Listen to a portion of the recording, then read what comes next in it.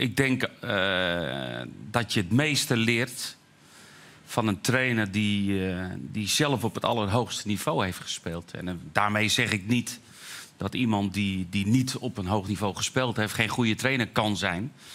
Maar dat is een streepje voor. Jij hebt zelf situaties meegemaakt die je kunt uitleggen weer naar je spelers toe. En dan praat je uit, eigen ervaring. Maar wat hij ook had, dat hij, dat hij ook nog wel eens meedeed. Dan, dan, dan werd je helemaal stil. Want dan keek hij naar rechts. En dan speelde hij zo met zijn linkerbuitenkant speelde hij hem eh, naar de linkerkant. Dus ja, hij kon het verbaal overbrengen, maar hij kon het ook nog laten zien. Wat is je, de, je, je dierbaarste herinnering aan hem? Nou, ook, ook met name de dingen van buiten het voetbal. Eh, wij gingen naar Barcelona toe en, en, en we werden fantastisch door hun opgevangen. We, we werden buren. Eh, dus je hebt niet alleen eh, je wedstrijden, maar je hebt ook eh, met de kerst, met oud en nieuw, verjaardagen van de kinderen. Ja, en, en, en dat vond ik ook altijd wel weer heel mooi aan hem. Dat kon hij ook zo ongelooflijk goed scheiden. Dat was wat op veld gebeurde. Ja, en als dat stopte, dan, dan was hij niet jouw trainer, maar dan was hij een vriend, buurman. En dan helpt hij ook weer met Kon andere hij dingen. keihard zijn op het veld tegen je en dan daarna gewoon weer relaxed? Ja, hij heeft mij eh, ooit eens een keer eh, in het eh, eerste wedstrijd van het seizoen... Had hij, en tegen die, in die tijd hadden we vier buitenlanders.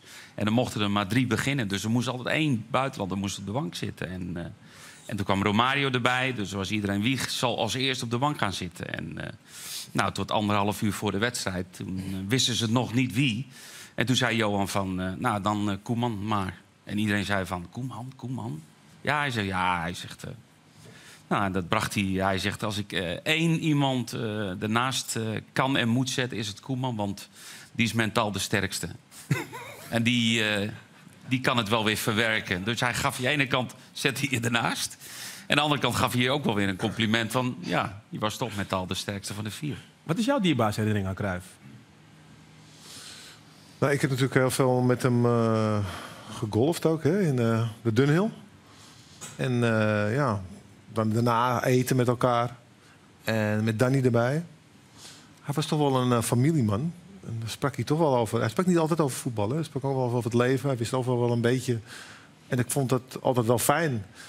En eh, wat Ronald zei, kijk, ik heb hem meegemaakt als, als voetballer op het veld. Bij Feyenoord. Ja, hij was trainer op het veld. Ja.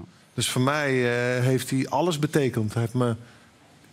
Kijk, ik denk voor onze generatie heeft hij de weg geplaveid. Hè? Dat, dat mensen naar Nederland kwamen om naar voetballers te kijken uit Nederland. Daar heeft hij voor gezorgd. En, eh, dus ik had hem dan ook nog als trainer op het veld. Ja, en dat, daar, daar, maar ik heb daar alleen maar naar geluisterd, naar gekeken. En jij zei ook dat hij meedeed met voetballen. Ik heb ook dat hij, dat, met de trainingen probeerde ik die bal van hem af te prakken. Ja. Nou, dat ging dus echt niet.